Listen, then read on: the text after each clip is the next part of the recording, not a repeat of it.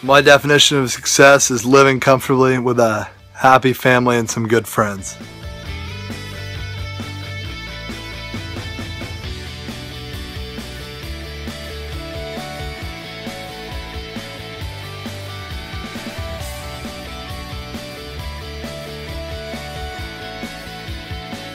My definition of success is having a good family, enough money to support yourself, and being able to support others that you care about in life, and just working hard.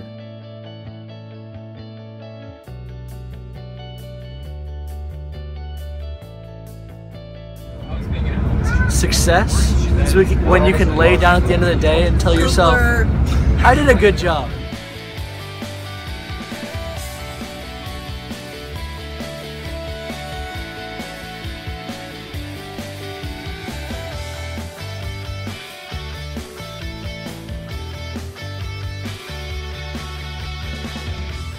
I define success to be achieving what you love in life and being happy and complacent with yourself.